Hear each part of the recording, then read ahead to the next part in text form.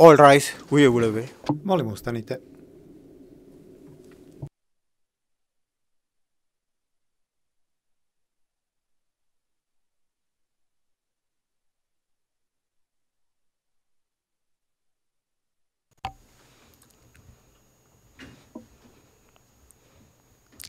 The International Residual Međunarodni rezidualni mehanizam za krivične tribunale zasjeda.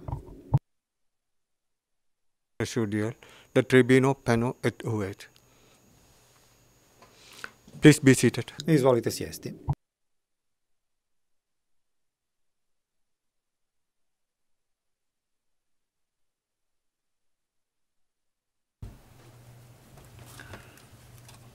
Good afternoon to everyone within and beyond the courtroom. Dobar dan svima onima u sudnici i van nje. Molim da se najavi predmet.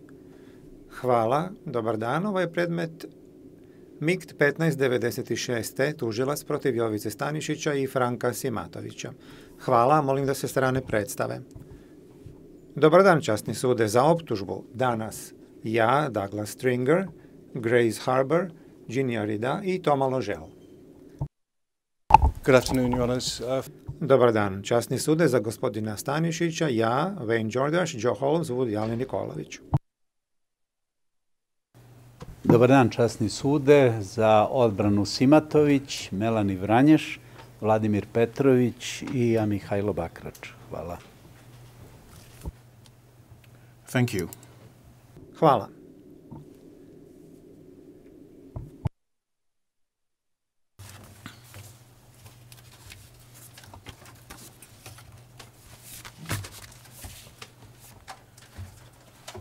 The trial chamber is sitting today Pretresno vijeće danas zasjeda da bi izreklo presudu u predmetu tužilac protiv Jovice Stanišića i Franka Simatovića.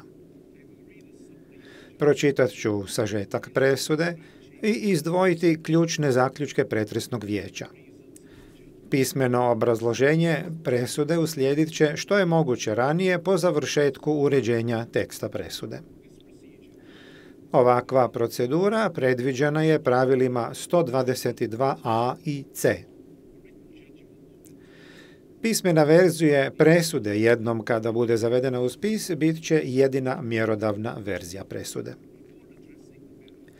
Prije nego što iznesem zaključke vijeća, želio bih izraziti zahvalnost svima onima koji su nam pomogli da ovaj predmet u kojem se sudi po drugi put dovedemo do završetka.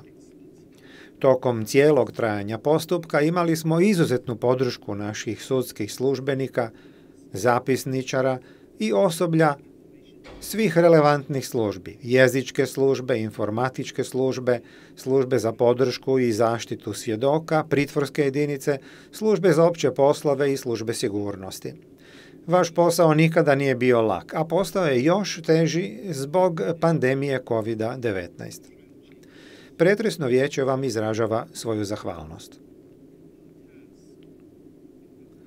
U vođenju ovog predmeta zadatak su nam svojim iskustvom, vještinom i profesionalnošću olakšali gospodin Stringer, gospođo Harbour, gospodin Đordaš, gospodin Bakrač, gospodin Petrović i njihove ekipe. Ovo je zadnji put da se sastajemo u ovoj sudnici. Zahvaljujemo se na vašem profesionalizmu, pragmatizmu i kolegijalnosti, koji su pretresno vijeću bili od velike pomoći. Prije nego što pređem na suštinu današnje odluke, molim sve one koji ovo prate u sudnici i van nje, a čiji je materinji jezik jedna od jezičkih varijanti koje se govore o državama koje su činile bivšu Jugoslaviju, da uvaže činjenicu da ja, kao govornik engleskog jezika, netječno izgovaram imena ponekih lica i mjesta, a da time ne želim nikoga uvrijediti. Ovaj predmet ima dugački historijat. Postutak pred Međunarodnim krivičnim sudom za bivšu Jugoslaviju započeo je 2003. godine, prije otprilike 18 godina, kad je protiv optuženih podignuta optužnica, a oni prebačeni u tribunal. Prvo suđenje zaključeno je 30. maja 2013. godine oslobađajućom presudom po svim točkama optužnice. U decembru 2015. Žalbeno vijeće Međunarodnog krivičnog suda za bivšu Jugoslaviju ukinulo je oslobađajuće presude i naložilo ponovno suđenje u ovom predmetu. Tom odlukom započelo je novo suđenje pred mehanizmom, što je tražilo da optuženi ponovo prvi put stupe pred sud, kao i da se obnovi predpretresni postupak. Tokom ponovljenog suđenja pretresno vijeću je predočeno svjedočenje 145 svjedoka, uključujući 80 svjedoka koji su svjedočili uživo. A vijeće je također usvojilo u spis više od 6300 dokaznih predmeta. Vijeće je također izdalo gotovo 450 odluka i naloga. Današnja izreka, poslije koje će uslijediti i pismeno obrazloženje, bit će naša zadnja odluka. Ovaj predmet odnosi se na Jovicu Stanišića, koji je bio zamjenik načelnika, a potom i načelnik službe državne bezbednosti Srbije, i na Franka Simatovića, jednog od glavnih obavještajaca te službe. Tužilaštvo im stavlja na teret ratne zločine i zločine protiv čovječnosti, uključujući ubojstvo, deportaciju, prisilno premještanje i progon, za koje se tvrdi da su ih počinile srpske snage u Hrvatskoj i Bosni i Hercegovini u periodu od aprila 1991. do decembra 1995. Tužilaštvo tvrdi da su se u Hrvatskoj ti zločini odigrali na teritoriji bivših srpskih autonomnih oblasti Krajina i Slavonija, Baranja i Zapadni Srijem. U Bosni i Hercegovini optužnica se bavi samo zločinima za koje se navodi da su izvršeni u općinama Bijeljina, Zvornik, Bosanski Šamac, Doboj i Sanski most kao i na području u blizini sela Trnovo. Tužilaštvo ne tvrdi da su optuženi fizički počinili ratne zločine i zločine protiv čovječnosti za koje se oni terete u optužnici. Tužilaštvo zapravo tvrdi da su oni te zločine počinili time što su učestvovali u udruženom zločinačkom poduhvatu. Alternativno, tužilaštvo navodi da su optuženi odgovorni za planiranje, naređivanje i ili pomaganje i podržavanje izvršenja tih zločina. Na samom početku, pretresno vijeće napominje da su mu predočeni obimni dokazi u vezi sa historijskim i političkim događajima, odnosno sa kontekstom sukoba koji je zahvatio bivšu Jugoslaviju u periodu od 1990. do 1995. godine. Iako je te dokaze detaljno proučilo, pretrezno vijeće ne smatra da je njegov zadatak bio da napiše definitivnu povijest raspada socijalističke federativne republike Jugoslavije. Na povjesničarima je da utvrde historijske traume, da definiraju složene političke i društveno-ekonomske razloge, burne procese političke transformacije, međusobno sukobljene političke programe, kao i nade i težnje naroda koje uvijek prate raspad jedne države.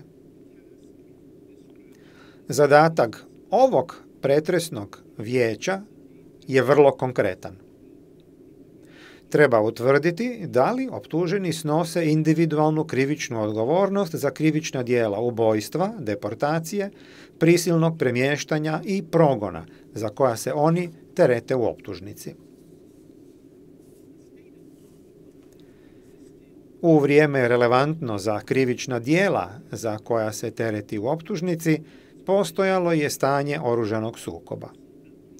Dokazi izvedeni na suđenju također jasno pokazuju da se u tom periodu sprovodio rasprostranjeni i sistematski napad na civilno stanovništvo nesrpske nacionalnosti na područjima Hrvatske i Bosne i Hercegovine relevantnim za optužnicu.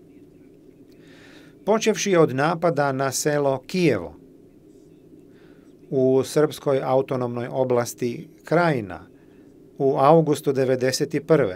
Postoji jasan obrazac zločina i nasilnih radnje koje su u selima u Krajini s većinskim hrvatskim stanovništvom činile srpske snage, uključujući pripadnike Jugoslavenske narodne armije, jedinica milicije Krajine i teritorijalne obrane.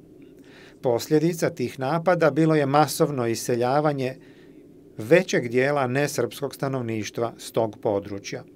Hrvatska imovina je pljačkana, kuće spaljivane, crkve i škole razarane, a hrvatski civili bili su zlostavljani, proizvoljno zatvarani, premlačivani, protjerivani i ubijani. Sela su sravnjivana sa zemljom, a njihovi hrvatski stanovnici protjerivani. U presudi se iznose detaljne konstatacije u vezi s brutalnim ubijanjem civila nesrpske nacionalnosti i drugim zločinima i nasilnim radnjama koje su srpske snage počinile od oktobra do decembra 1991. na području Hrvatske Kostajnice, između ostalog u blizini sela Bačin, kao i u selima Vukovići, Poljanak, Lipovača, Saborsko, Škabrnja i Bruška. Parallel, Istovremeno, u augustu 1991. pojačani su napadi na sela s većinskim hrvatskim stanovništvom u srpskoj autonomnoj oblasti Slavonija, Baranja i Zapadni Srijem, pri čemu su srpske snage zauzimale gradove i sela na tom području. Te snage uključivale su Jugoslavensku narodnu armiju, lokalne jedinice teritorijalne obrane, lokalnu policiju i paravojne grupe, kao što je Arkanova srpska dobrovoljačka garda. Poslije tih napada, u naseljima s većinskim hrvatskim stanovništvom zavladao bi teror. Lokalno nesrpsko stanovništvo bilo izloženo zlostavljanju, maltretiranju, proizvoljnom zatvaranju i prisilnom radu. A njihova imovina i vjerski objekti pljačkani su i spaljivani. U presudi se iznose detaljne konstatacije u vezi s brutalnim ubijanjima nesrpskih civila zatvorenih u policijskoj stanici u Dalju i u Centru za obuku u Verdutu, koja su u periodu od septembra do decembra 1991. izvršili Arkanovci i druge srpske snage. Poslije nasilnog zauzimanja gradova i sela na tom području, nesrpsko stanovništvo bilo je protjerivano ili mu ne bi preostalo ništa drugo osim da pobjegne od nasilja. Što se tiče Bosne i Hercegovine, sličan obrazac zločina pojavio se počevši od aprila 1992. Nakon što bi srpske snage, uključujući Jugoslavensku narodnu armiju i paravojne jedinice, nasilno zauzele gradove i sela u općinama Bijeljina, Zvornik, Bosanski Šamac, Doboj i Sanski most. Civili, prvenstveno bosanski muslimani i bosanski Hrvati, ubijani su, premlačivani i zlostavljani na druge načine. Proizvoljno hapšeni i zatvarani, mučeni i izlagani prisilnom radu i seksualnom nasilju. Njihova imovina je pljačkana i ispaljivana, a vjerski spomenici razarani. U Bijeljini, prvoj općini, koju su u aprilu 1992. zauzele srpske snage, teror su zavele paravojne grupe, kao što je Arkanova srpska dobrovoljačka garda, Bijeli orlovi i Mauzerova srpska nacionalna garda, zajedno s pripadnicima lokalne policije. Pripadnici tih grupa vršili su krivične radnje velikih razmjera i terorizirali kako nesrpsko stanovništvo, tako i one Srbe koje su smatrali nelojalnima. Pljačkali su, ubijali, silovali i proizvoljno zatvarali i zlostavljali nesrbe u raznim zatočeničkim objektima na području općine. Tokom narednih mjeseci veliki broj bosanskih muslimana napustio je tu općinu zbog kampanje terora, nasilja i zlostavljanja. Tokom i neposredno nakon napada na Zvornik u aprilu 1992. srpske snage, uključujući paravojne grupe, kao što su Arkanova srpska dobrovoljačka garda, Šešeljevci, Žute ose i lokalne vlasti bosanskih Srba, ubijale su i protjerivale lokalno nesrpsko stanovništvo iz te općine. U općini Zvornik formirani su zatočenički objekti, u kojima su mnogi nesrbi držani u vrlo lošim uslovima, premlačivani, zlostavljani, mučeni i ubijani. Zbog tih zločina i nasilnih radnji, većina bosanskih muslimana bila je prinuđena napustiti tu općinu. This Ovaj obrazac zločina ponovljen je u Bosanskom Šamcu, nakon što su srpske snage, uključujući paravojne grupe, zauzeli tu opštinu u aprilu 1992. Širom opštine izvršena su brojna zlodjela protiv nesrpskog stanovništva, uključujući pljačkanje, silovanje i uništavanje vjerskih objekata i spomenika kulture. Srpske snage proizvoljno su zatvarali bosanske muslimane i bosanske Hrvate u najmanje šest zatočeničkih objekata u opštini Bosanski Šamac, gdje su zatočenici držani u nehumanim uslovima, podvrgavani prisilnom radu, teškim zlostavljanjima, čestim premlačivanjima i mučenju, prisiljavani da vrše seksualne radnje i ubijani. Dana 7. maja 1992. ili približno tog datuma 16 bosanskih muslimana i bosanskih Hrvata ubijeni su u zatočeničkom objektu u selu Crkvina. Zbog tih zločina i nasilnih radnji koje su srpske snage počinile za vrijeme i nakon zauzimanja bosanskog šamca, većina nesrpskog stanovništva bila je prinuđena da napusti opštinu. Isti obrazac zločina nastavio se kada su srpske snage, uključujući paravojne grupe, zauzele doboj u maju 1992. Nesrpsko stanovništvo bilo je zlostavljano, njihove kuće pljačkane, a vjerski spomenici uništavani. U cijeloj opštini formirani su brojni zatočenički centri, u kojima su civili, bosanski muslimani i bosanski Hrvati, držani u jezivim uslovima – teško zlostavljani, premlačivani, korišteni za prisilni rad, mučeni i ubijani. Dana 12. jula 1992. pripadnici srpskih snaga ubili su 16 nesrpskih civila tako što su ih upotrijebili kao živi štit. Zbog takvih životnih uslova i brojnih zločina i nasilnih radnji usmjerenih protiv bosanskih muslimana i bosanskih Hrvata iz Doboja, oni su bili prinuđeni da odu iz opštine. Nakon što su srpske snage zauzele Sanski most u maju 1992.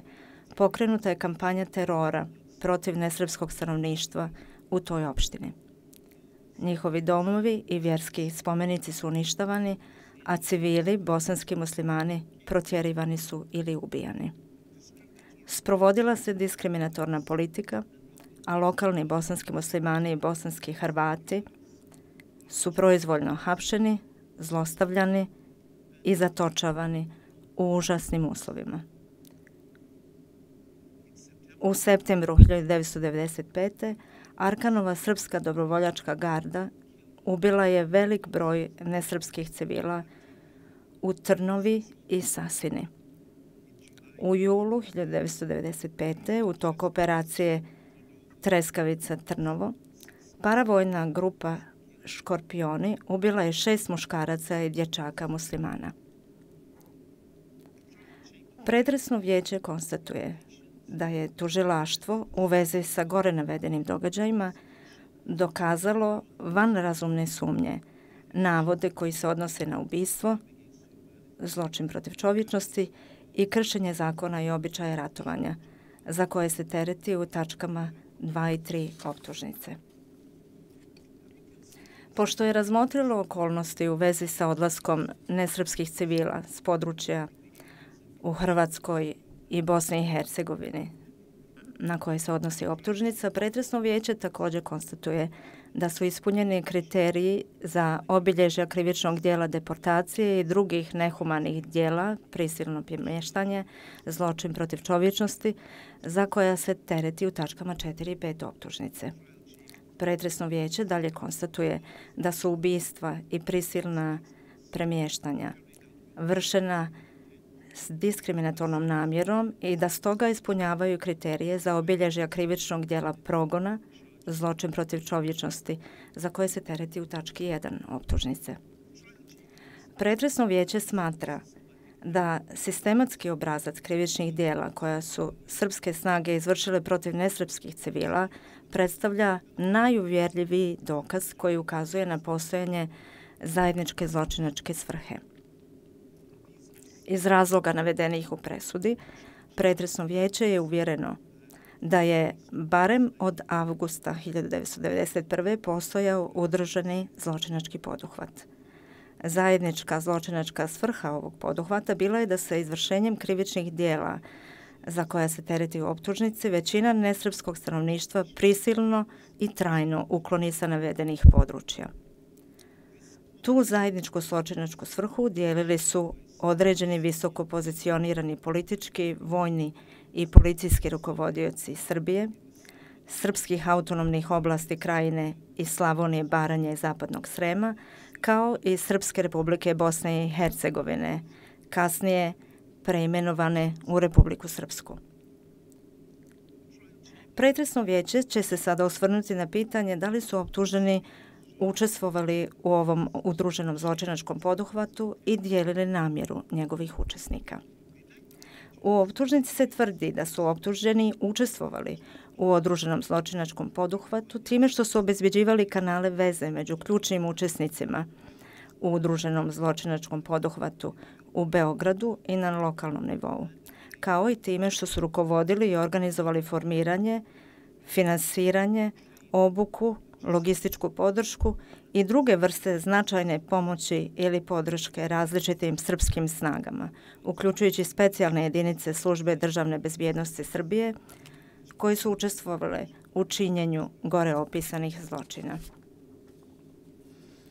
U vezi sa srpskim snagama u srpskoj autonomnoj oblasti krajini, kao što se objašnjava u pisanoj presudi, pretresno vijeće konstatuje da su obojica optuženih u prvoj polovini 1991. bili uključeni u obezbeđivanje nekog oblika pomoći lokalnim bezbjednostnim strukturama, uključujući pomoć u obučavanju pripadnika policije krajine, teritorijalne odbrane krajine i drugih dobrovoljaca u kampu u Golubiću, a kasnije i u Kninskoj tvrđavi. Međutim, tužilaštvo nije dokazalo van razumne sumnje da je zajednička zločinačka svrha postojala prije avgusta 1991. Shodno tome, Pretresno vijeće se nije uvjerilo da su optuženi takvim postupanjem doprinijeli ostvarivanju zajedničke zločinačke svrhe. Pretresno vijeće izvelo je sličan zaključak u veze sa bilo kakvim eventualnim doprinosom optuženih u odnosu na srpske vlasti i snage u srpskoj autonomnoj oblasti Slavonije, Baranja i Zapadni Srem. Što se tiče srpskih snaga u Bosni i Hercegovini, Pretresno vijeće smatra da je Stanišić često bio u kontaktu sa Radovanom Karadžićem prije i poslije formiranja Republike Bosanskih Srba. Međutim, nema dovoljno pouzdanih dokaza koji bi van razumne sumnje pokazivali prirodu i vrstu eventualne konkretne pomoći koju su optuženi pružali Karadžiću ili drugim navodnim učesnicima udruženog zločinačkog poduhvata, a u vezi sa uspostavljanjem odvojenih srpskih policijskih i vojnih struktura u Bosni i Hercegovini. Iz razloga izloženih u presudi, Pretresno veće nadalje konstatuje da tužilaštvo nije van razumne sumnje dokazalo da su optuženi doprineli ostvarivanju zajedničke zločinačke svrhe time što su rukovodili i organizovali formiranje, finansiranje, obuku, logističku podršku i druge vrste značajne pomoći ili podrške paravojnim jedinicama, uključujući Srpsku dobrovoljačku gardu, na čelu s Arkanom ili Škorpione, a u vezi sa njihovim izvršenjem zločina za koje se tereti u optužnici. Kada je reč o specijalnim jedinicama službe državne bezbednosti Srbije, tužilaštvo tvrdi da su Stanišić i Simatović imali ovlašćenja nad ovim jedinicama, poznatim kao Frenkijevci ili Crvene beretke, odnosno kratko jedinica, te da su jedinicu koristili za izvršenje krivičnih dela koja su doprinosila ostvarenju zajedničke zločinačke svrhe. Tužilaštvo tvrdi da su optuženi 4. maja 1991. formirali jedinicu koja je pod kontrolom obojice optuženih i komandom Simatovića postojala tokom celog predmetnog perioda i da su njeni pripadnici činili zločine. Pretresno veće se uverilo da su optuženi učestvovali u formiranju jedinice za posebne namene pod ovlašćenjem službe državne bezbednosti Srbije i da su tom jedinicom rukovodili. Formiranje jedinice započelo je u leto 1991. sa obukom regruta u kampu Golubić kod Knina. Najkasnije u avgustu ili septembru 1991. Simatović je odabrao oko 28 najboljih polaznika i instruktora kako bi formirao specijalnu jedinicu koja će tajno delovati pod kontrolom službe državne bezbednosti Srbije. Ti pripadnici jedinice odvedeni su u Beograd, a zatim u kamp Ležimir na Fruškoj gori u Srbiji i u kamp Pajzoš u Iloku u Hrvatskoj, gde su nastavili zajedničku obuku i obučavali druge tokom prvog dela 1992. Međutim, tužilaštvo nije van razumne sumnje dokazalo da su pripadnici jedinice ili drugi koje su oni obučavali učestvovali u zločinima u Hrvatskoj koji se mogu pripisati optuženima. Što se tiče zločina počinjenih u Bosni i Hercegovini, pretresno veće konstatuje da su u martu 1992. pripadnici jedinice obučili grupu od približno 18 muškaraca iz bosanskog šamca – U ovom periodu obučena je, a kasnije integrisana u jedinicu, još jedna grupa koja je uključivala bivše pripadnike specijalne policije Srećka Radovanovića, zvanog Debeli, i Slobodana Miljkovića, zvanog Lugar. Pretresno veće konstatuje da su 11. aprila 1992. pripadnici jedinice, među kojima su bili Debeli, Lugar i Dragan Đorđević zvani Crni, iz Pajzoša doleteli vojnim helikopterom do jednog sela u blizini Bosanskog Šamca. Ovim pripadnicima jedinice i drugima pridružila se grupa meštana iz Bosanskog Šamca. On arrival, group was resubordinated to the Po dolasku ova grupa je pre potčinjena Jugoslovenskoj narodnoj armiji i dobijala je naređenja od lokalnog komandanta. Kako se opisuje u presudi, ovi ljudi učestvovali su i u počinjenju krivičnih dela za koja se tereti u optužnici u vezi sa bosanskim šamcem. Međutim, ti dokazi nisu dovoljni da bi se utvrdilo da su optuženi nad njima imali ovlašćenja ili da su im izdavali instrukcije i pružili podršku tokom vršenja tih krivičnih dela.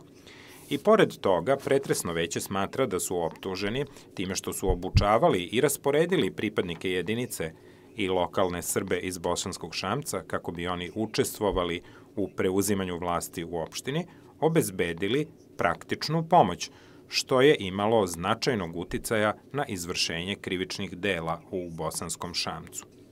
Iz razloga objašnjenih u presudi, tužilaštvo nije van razumne sumnje dokazalo da su optuženi, osim u vezi sa Bosanskim Šamcem, korišćenjem jedinica za posebne namene službe državne bezbednosti Srbije, doprineli ili obezbedili praktičnu pomoć u izvršenju krivičnih dela za koja se tereti u optužnici. Kad je reč o nameri optuženih, pretresno veće konstatuje da je Stanišić imao detaljna saznanja o događajima na terenu u Hrvatskoj i Bosni i Hercegovini tokom celog perioda na koji se odnosi optužnica. Pretresno veće konstatuje da je i Simatović imao neograničen pristup informacijama o događajima na terenu, budući da je jedan od njegovih osnovnih zadataka u periodu iz optužnice bio prikupljanje obaveštajnih podataka. Pošto je razmotrilo sve ukupne dokaze i uzelo u obzir razmere i obrazac krivičnih dela koja su srpske snage izvršile tokom i posle operacija na područjima iz optužnice, pretresno veće konstatuje da je van razumne sumnje dokazano da su obojca optuženih znali za kampanju ubistva, progona i prisilnih premeštanja, usmerenu protiv nesrpskog stanovništva u Hrvatskoj i Bosni i Hercegovini u periodu na koji se odnosi optužnica. Ako se dokazi sagledaju u kontekstu kontakata optuženih i njihovih opsežnih i detaljnih saznanja o događajima koji su se odvijali na terenu u periodu iz optužnice, jedini razuman zaključak koji se iz dokaza može izvesti jeste da su optuženi isto tako znali da su učesnici u udruženom zločinačkom poduhvatu delili nameru da se sa velikih područja u Hrvatskoj i Bosni i Hercegovini izvršenjem krivičnih dela iz optužnice prisilno i trajno ukloni većina nesrpskog stanovništva. Pretresno veće može da izvede zaključak o postojanju neke konkretne činjenice od koje zavisi krivica optuženog iz posrednih dokaza. Međutim, to mora da bude jedini razumni zaključak koji bi se iz predočenih dokaza mogao izvesti – Ako postoji neki drugi zaključak koji se na osnovu dokaza takođe može razumno izvesti, ne može se doneti zaključak o krivici van razumne sumnje. Pošto je razmotrilo sve ukupne dokaze, pretresno veće nije utvrdilo da je jedini razumni zaključak koji se može izvesti na osnovu dokaza taj da su Stanišić i Simatović delili nameru da doprinesu ostvarenju zajedničke zločinačke svrhe. Shodno tome, iz razloga obrazloženih u presudi, Tužilaštvo nije van razumne sumnje dokazalo da su optuženi učestvovali u udruženom zločinačkom poduhvatu. I pored toga, pretresno veće se uverilo da su optuženi pružali praktičnu pomoć, što je imalo značajan uticaj na izvršenje krivičnih dela ubistva, prisilnog premeštanja i progona počinjenih u Bosanskom šamcu – kao i da su znali da njihove radnje pomažu u izvršenju tih krivičnih dela. Shodno tome, pretresno veće konstatuje da su oni krivično odgovorni za pomaganje i podržavanje izvršenja krivičnih dela u Bosanskom šamcu. Pretresno veće smatra da optuženi nisu odgovorni za planiranje, naređivanje ili pomaganje i podržavanje bilo kog drugog krivičnog dela iz optužnice. Iz navedenih razloga, kao i iz razloga iznetih u presudi, Pretresno veće konstatuje da su Jovica Stanišić i Franko Simatović odgovorni na osnovu člana 7.1 statuta MKSIA za pomaganje i podržavanje krivičnih dela ubistva, deportacije, prisilnog premeštanja i progona počinjenih u Bosanskom šamcu. Pretresno veće stoga konstatuje da su Jovica Stanišić i Franko Simatović krivi po tačkama 1 do 5 optužnice. Pošto je razmotrilo sve relevantne faktore, pretresno veće izriče Jovici Stanišiću jedinstvenu kaznu od 12 godina zatvora, a Franku Simatoviću jedinstvenu kaznu od 12 godina zatvora. U skladu s pravilom 125c, gospodinu Stanišiću i gospodinu Simatoviću će se u izdržavanje kazne uračunati vreme koje su proveli u pritvoru čekajući na predaju MKSJ-u, a takođe i vreme tokom prvog suđenja i žalbenog postupka, kao i tokom ovog ponovljenog suđenja. Prema pravilu 127c, gospodin Stanišić i gospodin Simatović ostaće u pritvoru mehanizma dok se ne dovrši organizovanje prebacivanja u države u kojima će izdržavati svoje kazne. Suđenje u predmetu tužilac protiv Jovice Stanišića i Franka Simatovića ovim je završeno. Pismeno obrazloženje ove presude biće zavedeno što je pre moguće. Time je sednica završena.